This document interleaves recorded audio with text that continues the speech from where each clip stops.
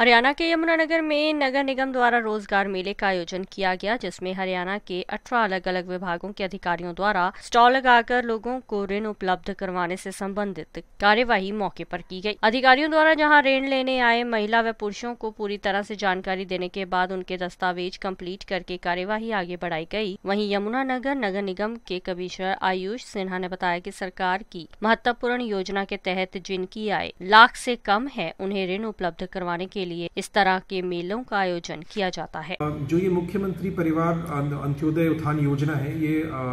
सरकार का एक बहुत ही महत्वपूर्ण योजना है, जिसके तहत जो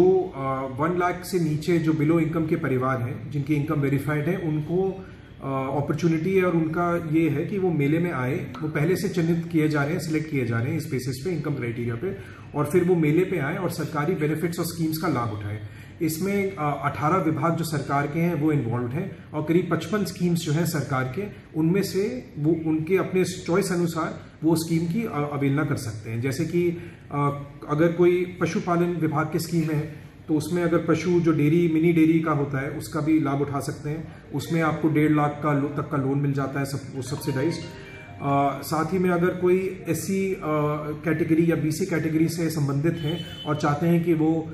सेल्फ एम्प्लॉयमेंट या कुछ ऐसा कोई इनिशिएटिव ले तो उसके लिए भी सरकार की एस कॉरपोरेशन द्वारा स्कीम लोन दिए जा सकते हैं। और साथ में बीसी कॉरपोरेशन का भी अपना लोन है। साथ ही अगर कोई महिलाएँ हैं जो कोई भी एक्टिविटी शुरू करना चाहती हैं, जिससे वो अपने परिवार का इनकम भी बढ़ाने में योगदान देना चाहती हैं तो उनमें विमेन डेवलपमेंट कॉरपोरेशन के भी लोन्स हैं। साथ ही साथ प्रशिक्षण के भी कुछ स्कीम्स हैं, जैसे कि हमारे रेड क्रॉस ट्रेनिंग कराता है, हमारे डीसी चाइल्ड वेलफेयर और जो ऑफ़िस है, वो भी ट्रेनिंग कराता है किसी में कंप्यूटर ऑपरेटर में, कहीं पर स्टिचिंग एंड टेलरिंग में। तो ऐसे करके आप जिस और जैसे सक्षम भी अगर कोई सक्षम ज्वाइन करना चाहता है कोई कॉलेज कॉलेज का स्टूडेंट हो या मतलब ट्वेल्थ के बाद का स्टूडेंट है जो कॉलेज में नहीं है तो वो सब पूरे ही स्कीम्स इसके पार्ट है। तो इस तरीके से हमारे करीब करीब इस फ़ेज़ में तीन हज़ार परिवार ऑलरेडी आ चुके हैं और इसमें यही कोशिश है कि उनके जो स्कीम्स हैं उनको अच्छे से काउंसलिंग करके वो प्रोवाइड किया जाए। हमारे यहाँ पर जो म्यूनसिपल कमेटी के द्वारा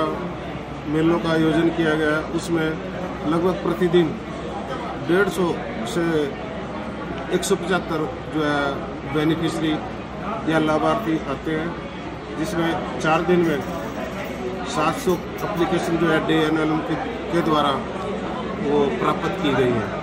जिनको सभी बैंकों में साथ साथ भेज दिया गया है। अभी तक हमारे ज़िले में जो टोटल पोजीशन है बैंकों के पास, कल तक छः हज़ार सात सौ पाँच एप्लीकेशन जो है वो बैंकों को फॉरवर्ड की की जा चुकी हैं जिसमें बैंकों के द्वारा दो हज़ार एक सौ इक्यावन अप्लीकेशन जो है वो सेंक्शन कर दी गई है और चार सौ अठासी लाभार्थियों को जो है ऋण वितरित कर दिया गया है ਦੇਸ਼ ਦੁਨੀਆ ਦੀਆਂ ਤਾਜ਼ਾ ਖਬਰਾਂ ਦੇ ਲਈ ਹੁਣੇ ਪਲੇ ਸਟੋਰ ਤੋਂ ਡਾਊਨਲੋਡ ਕਰੋ ਪੰਜਾਬ ਦੀ ਆਵਾਜ਼ ਅਜੀਤ ਨਿਊਜ਼ ਐਪ ਹੁਣ ਤੁਹਾਡਾ ਆਪਣਾ ਅਜੀਤ ਹਰ ਸੋਸ਼ਲ ਮੀਡੀਆ ਪਲੇਟਫਾਰਮ ਦੇ ਉੱਤੇ ਉਪਲਬਧ ਹੈ ਫੇਸਬੁੱਕ ਦੇ ਉੱਤੇ ਹੁਣੇ ਲਾਈਕ ਤੇ ਫੋਲੋ ਕਰੋ ਅਜੀਤ ਦਾ ਅਫੀਸ਼ੀਅਲ ਪੇਜ ਡੇਲੀ ਅਜੀਤ ਤੇ ਹਾਂ, ਨਾਲ ਹੀ ਦੋਸਤਾਂ ਨੂੰ ਪੇਜ ਲਾਈਕ ਕਰਨ ਦੇ ਲਈ ਇਨਵਾਈਟ ਕਰਨਾ ਨਾ ਭੁੱਲਣਾ। ਇੰਨਾ ਹੀ ਨਹੀਂ, ਹਿੰਦੀ ਦੇ ਵਿੱਚ ਖਬਰਾਂ ਵਾਸਤੇ ਲਾਈਕ ਤੇ ਫੋਲੋ ਕਰੋ ਸਾਡਾ ਫੇਸਬੁੱਕ ਪੇਜ ਅਜੀਤ ਸਮਾਚਾਰ ਹਿੰਦੀ YouTube ਦੇ ਉੱਤੇ ਵੀਡੀਓ ਖਬਰਾਂ ਦੇਖਣ ਦੇ ਲਈ ਹੁਣੇ ਸਬਸਕ੍ਰਾਈਬ ਕਰੋ ਅਜੀਤ ਦਾ official YouTube channel Ajit web TV